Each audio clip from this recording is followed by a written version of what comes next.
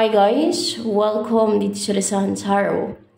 Ang reading nito ay for collective. For anyone who can resonate sa reading nito, this is a general reading for collective. Your energy at this time.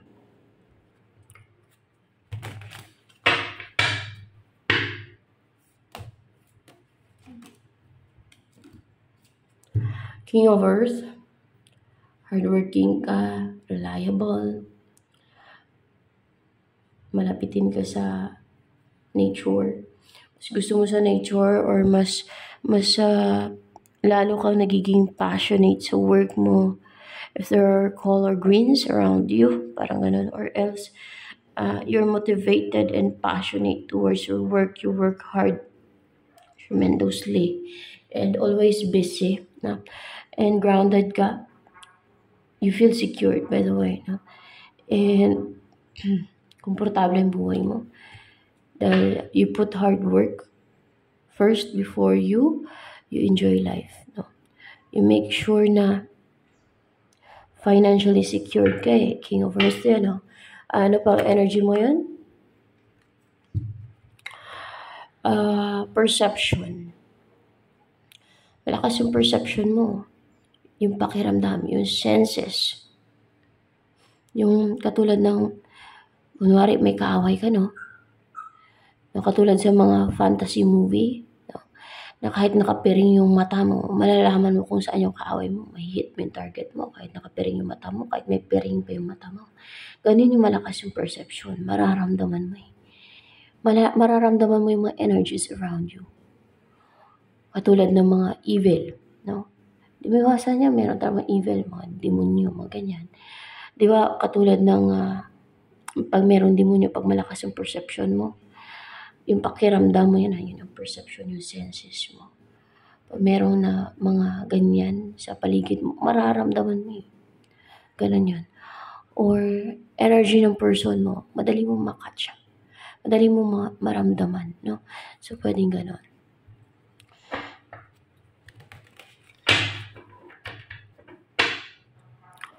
Ano pang energy mo ngayon? The scribe.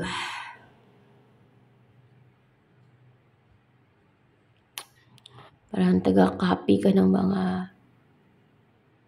books. Or yung mga nalalaman mo na information, yung mga nababasa mo sa libro, or maybe yung natutunan mo, no, what you have learned, parang isinasalin-salin mo yun, no, with the scribe here. Ang ganun. Madami kang uh, na na ano, na bigyan ng information yan. Or nakapag-share ka ng balita, ideas, knowledge, information. Ganyan. So, more about you. More about you. About you.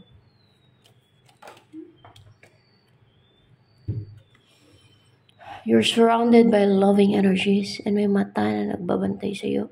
Pwedeng anghel yan. Um, ano yung nagbabantay sa iyo, anghel? Yeah, anghel. At matapang to, victorious na anghel. Meron eh. Merong nakasubaybay sa'yo na anghel. Angel. Saan yan? Yung nagbabantay sa four directions, yun ba yung mga nagbabantay sa'yo? Yung nakatingin sa'yo? Ah, uh, yun na nga yun. Yung sa four directions. Sa corner, bawat sulok ng mundo na to. Di ba may nagbabantay na apat na anghel dyan? So, yan na yung nagmamasid sa'yo, nagbabantay sa'yo. Bakit ka nila binabantayan ng mga anghel na yan? And uh, you're protected very loving energies. Because you are embodying this maiden oh and so innocent nurturing loving uh, full of love no? You exude love loving energies yun ang nire-release mo eh nilalabas mo eh. Oh and actually may nag-transform sa'yo may mga nagbago sa'yo. Pink color no Para bang ikaw yung nasa center of attention ng mga, ikaw yung focus ng apat na anghel na yan eh. Nakatingin sila sa'yo palagi. O, nakamasid, nakafocus sa'yo. Uh, yan, matatapang anghel yan. Mga, mga victorious. Mga sa labanan. Ano kasi mga anghel yan? Mga, mga warrior yun eh. Warrior na matagumpay sa labanan. Mga ganun ba? You know, hindi, hindi natin alam kung ano yung nandun sa langit. Um, yung mga anghel, hindi yan katulad ni Cupid na, na mga Cupid yung sa ano, at yung parang humanoid lang. Yung mga anghel, iba-ibang klase yan. No? Alam niyo naman yan. Iba parang beast eh. Mga warrior yan sila. Malalakas. Matatapang. Like this. No? Pero not all are you in humanoid form. Others can uh, do shape shifting. Ganyan na they can transform into a humanoid form. Pwedeng ganun din. And we have here, kasi mapagmahal ka kahit sa mga uh, you're full of love, mapagmahal ka. And uh, natural ka lang eh, simple. I know. And may butterfly. Dumadaan ka sa transformation for sure dumadaan ka sa transformation. So, maaaring mahirap yung pinagdadaanan mo yan. Um, pero, ayun o, may, may mga nagbabago sa iyo. Nata-transform like a butterfly. Na-transform ka na ba? Into a new person? Ah, na-transform na nga oh. Yeah. Into a new person. Na palaban ka na, competitive ka na, hindi ka na magpapatalo eh. Hindi ka na magpapahadlang no, kung meron harang. Ready ka na para sumugod sa battle, laban. Ganon. Hmm.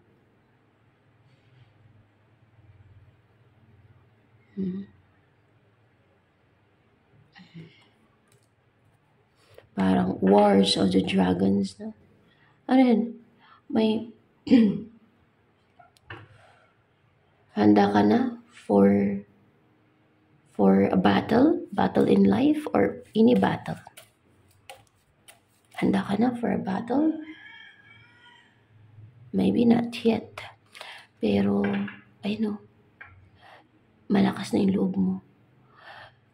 Hindi ka na magpapatalo. no? Lalaban ka, competitive ka na. Uh, maybe not yet, not yet. You're not ready yet for a battle or any battle ng buhay. Mari nga, ito ka kasi oh.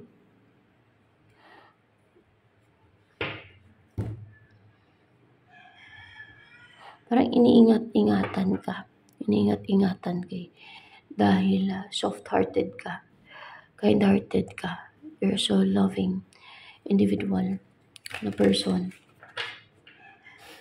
And maybe, maybe uh, handa ka na for uh, hindi ka pa daw handa sa battle sa battle ng buhay. Pero hindi ka na magpapatalo. Competitive ka na. Hmm. Ano pa? Ang about sa'yo. Kumbaga may laban ka na. May laban ka na sa kaaway mo eh. Yan ang ibig sabihin dyan eh. And, uh, malalaman mo. Ano itong malalaman mo? May ma-discover ka.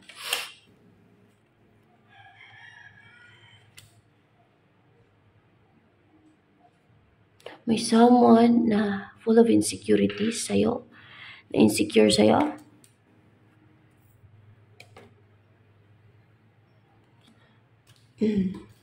o na-insecure siya sa love life mo, ah, na-insecure siya sa love life mo, hindi lang sa'yo. Sa love life mo siya na-insecure at uh, binubuhusan siya. Binubuhusan ng ano? Binubuhusan ba siya? Yeah, may binubuhos sa kanya. Pwedeng loving energies. Ano binubuhos sa kanya? Loving energies. Loving energies. Yeah. Binubuhusan siya ng loving energies. Itong uh, tao na to na full of insecurity sa'yo. or sa love life mo, na insecure siya. Para maging mapagmahal na siya. Na klase ng tao. Yeah. Ah? Eh, hindi.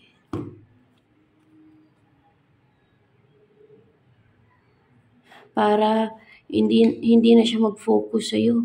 Oh, kakagawa nito ng panghalit.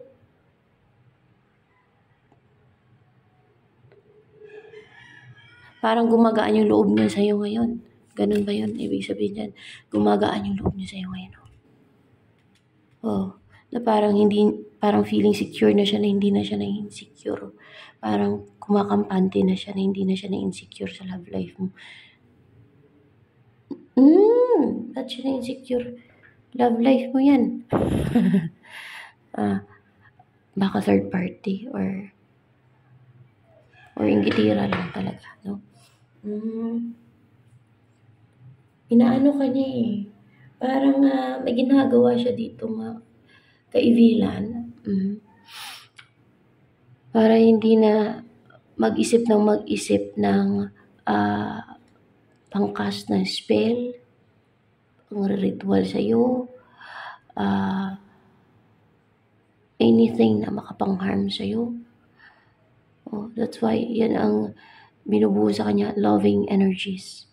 Which is galing sa'yo yung loving energies na yan. Hindi, hindi, hindi sa'yo galing. Saan galing yan? Sa universe? Hindi. Saan galing yan? Sa mga angels galing yung loving energies na yan? Hindi eh. Saan galing yan? Sa God? Yung loving energies? Hindi din sa God. Ah... Uh, sa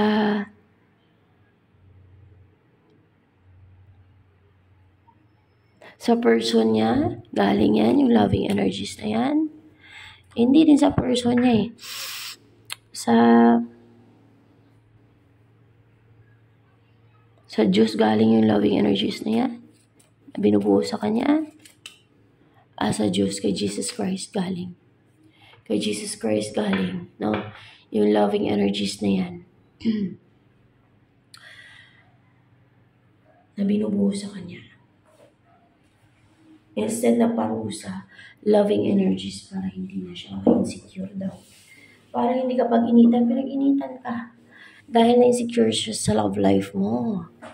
Maring uh, may mga taong ganun talaga pagka may na, nakakilala ka, may nakasalamuha ka, kunti man or marami. Lalo na kung attractive ka at uh, may mga alam nila na madami nagkakagusto sa'yo ma-insecure sila, mainggit sila, doon nabibuild yun eh. Yun. Iba-iba kasi yung tao, merong walang pakialam o attractive ka, no? Na same sex mo ha. Meron ding mga inggitira talaga na sadyang uh, uh, pag-initan yung uh, tingin nilang attractive na masigit sa kanila. No, na gusto nilang kontrolin kasi they want to be like that, per, to be like you. Attractive and uh, uh, madami nagkakagusto. Madami ba nagkakagusto sa'yo? Ba't siya na-insecure sa love life mo? Hindi naman. Uh, na-insecure sa love life mo. Kasi stable at masaya yung love life mo. Oh, really positive. Positive. That's why yung love life niya is uh, malamang hindi hindi maganda or hindi successful kasi inggitira siya sa love life ng iba. Pinag-initan niya yung love life mo. Hmm. Ano ang love life niya? Miserable. Kasi yung love life ng iba ang pinag-initan niya. Nainggit siya. Hmm.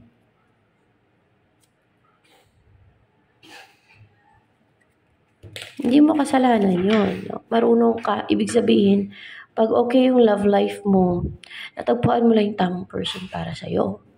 And then, marunong ka magdala ng relationship, kaya tumatagal. At yung karelasyon mo hindi toxic at ikaw hindi toxic. No? And, uh, ibig sabihin yan, pag positive yung love life mo,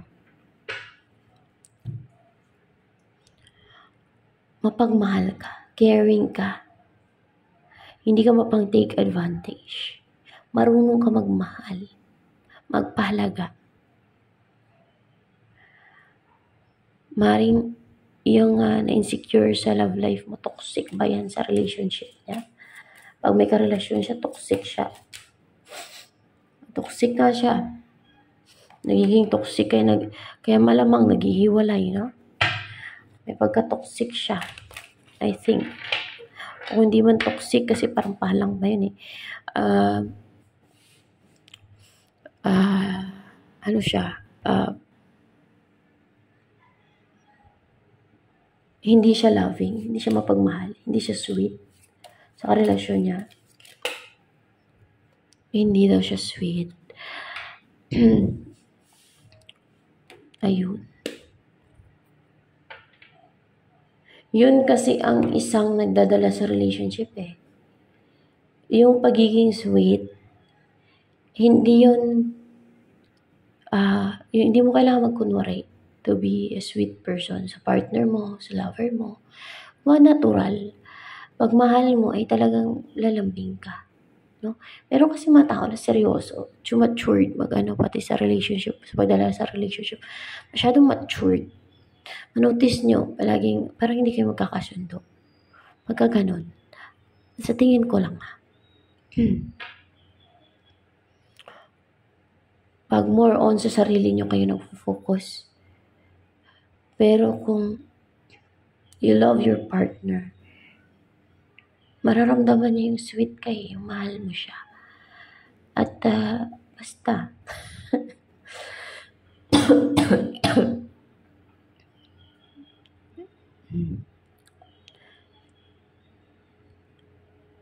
Dahil positive yung iyo, o masaya ka or inspired ka, inspired ka sa love life mo siya.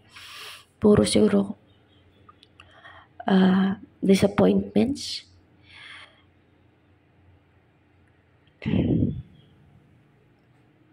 Bakit? Ano pa yung isa sa rason para maging uh, matibay at masaya yung relationship, dapat marunong makontento. Dapat makontento sa relationship, sa karelasyon mo. Ganun lang yun. Baka kung may someone na seryoso sa kanya, ayaw niya. Kasi mas gusto niya yung yung masigit doon. Mga ganun ba? Hindi siya makontento. Tapos, Parang sika-sikain niya lang, ganun. Parang i-take it for granted niya lang. Pwedeng ganun. Tapos pag makahanap naman siya ng toxic na selfish din, na selfish pa sa kanya, ayun, maghabol-habol siya. O, di ba? So, kung sino ang nagmamahal at uh, marunong makontento sa'yo, doon ka. Ganun lang yan. Para maging happy and fulfilling your relationship. It's not your fault kung buwisit siya sa relasyon niya or buwisit yung relasyon niya sa person niya or buwisit yung relationships niya. Dahil siya mismo buwisit din. Pinag-initan yung love life mo. Anong pakialam mo doon? Anong kasalanan mo doon sa love life niya? Hmm. Dahil positive daw yung love life mo. Ingit, insecure nga, full, full of insecurities yan. Hindi yan third party. Someone na inggitira.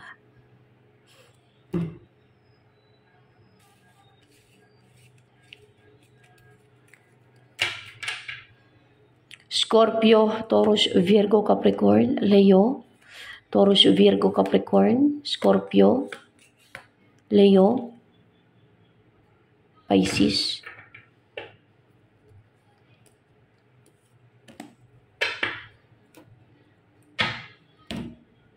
Aries, Leo, Sagittarius.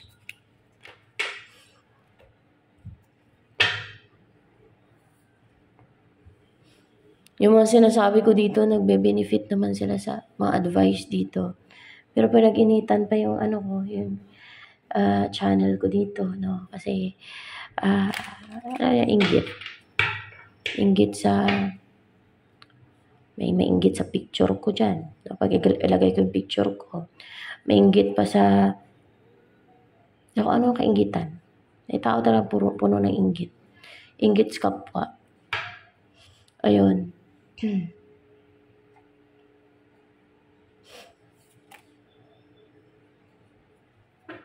Actually, yung picture dyan, pinopost ko dyan, i-filter yan. Baga, sino-offen yan. Yung uh, skin yan. Pinalighten. Ayun. So, ano yung uh,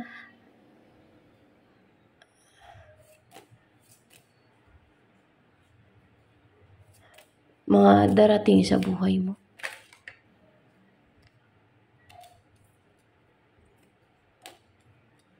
Merong nga magme-message sa'yo. Nagka-cloud. May nagka-cloud sa isipan niya. No, nagka-cloud. Ang pakawalan yung uh, sarili niya. Huwag niya i-restrict yung sarili niya. I-message ka. Isa sa past person mo. Pwede may ka-relasyon ka din. Uh, pwedeng someone na hindi na defensive sa'yo. Uh, yeah. Someone na nanginayang. Uh, isa sa nakaraan mo yan. Someone na hindi nag-take na action kasi puno ng baggage. O paano makapag-take na action kasi puno ng baggage. Ito yung nagka-cloud ngayon sa isipan niya i-message ka. Huwag niyo nang pigilan yung sarili i-message ka. Kontakin ka. Anong madarating sa buhay mo pa?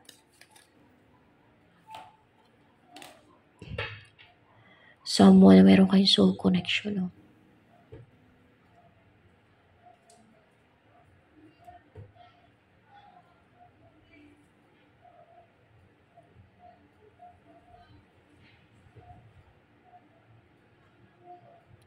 Para bang magkakaroon ng uh, ano sa inyo niyan? Uh, balance. Maging harmonious yung relationship niyan pag nagsama kayong dalawa. If you're in a relationship walang problema. Tiwasay payapa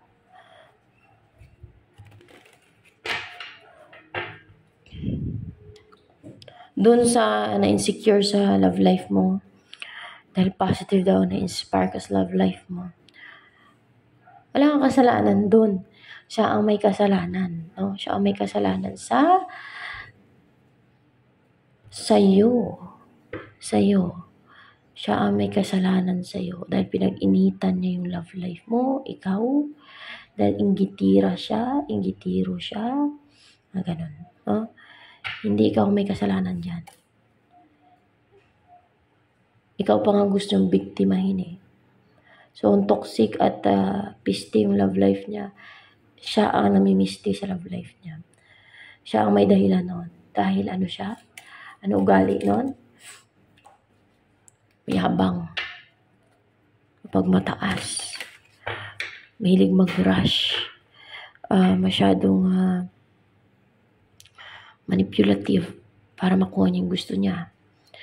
Uh, egoistic, controlling, uh, masama ugali niyan. Hindi siya control. Pati love life mo gusto niya kontrolin eh. Pinag-initan niya eh.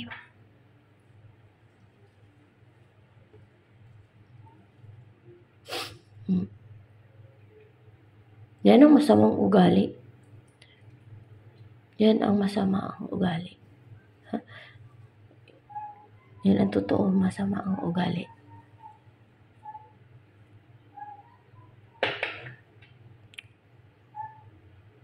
Utak pa lang na evil na eh. Ito yung mga, yan yung mga taong uh, paniwalain niya yung sarili niya sa sinungalingan niya. Mga ganun ba?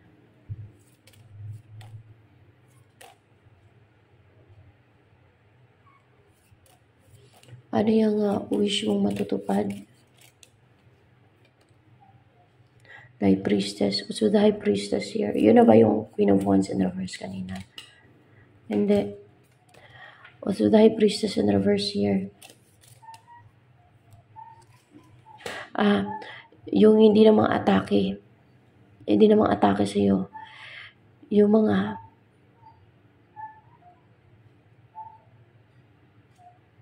mga high priestess na to. Kasi mawala na sila ng intuition. Ayan, mawala na sila ng intuition. Parang psychic attacks ba? Atake. Psychic attacks. Hindi na sila makapang psychic attack sa'yo. Bakit? Babalik sa kanila. Pwedeng babalik sa kanila. Hmm mapuno sila ng nervyos. Um, or else, dahil wala na nga silang intuition. Wala na silang psychic uh, power, psychic abilities.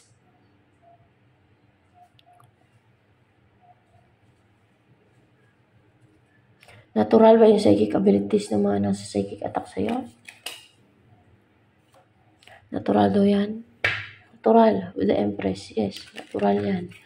Bakit ka na sina... Madami ba yan? Yung na nakikik-attack sa'yo? Ah, madami. Parang binubusan ka ng baggage, problema, pasanin. Bakit? Bakit kanila sila attack? Nainggit? Hindi naman nainggit. Na-insecure? Eh? Hindi. Defensive.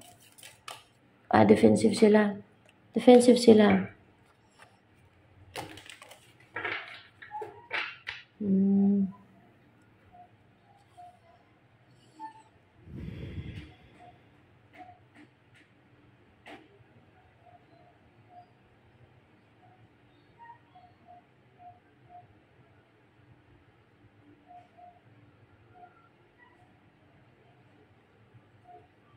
Yun nga lang picture eh. Pagkainditan pa eh. Hmm. Pare-paro lang naman na nag-ano, nag, uh, nag-i-edit ng picture. Pare-paro lang naman na naglalagay ng hindi filter yan. Ginamit ko picture ko dun. Ano lang yan, yung softening, softening ng face para soft and uh, parang lighted, malight pa. Pumuti, puti, ang ganun na, pumuti siya. O, ganun. Hindi yun filter. oh. Oh, pare-paro lang naman nag, ano ah. Ay, nako. Walang erase na matigyawat doon sa picture. Ay, gitan pa eh, picture eh. Oh. Yan pa kay love life mo. Yung love life mo eh, ewan. Ambot na lang. So, ayan guys. Ito na lamang for collector reading. Sa mga baguhan po dito sa aking channel, please subscribe at huwag po ninyo kalimutang i-click ang bell button nang sa ganun ay ma-notify kayo sa mga susunod na videos na upload ko. At paki-like naman po at na rin sa ating comment section box lalo na sa mga nakaresonate sa reading nito.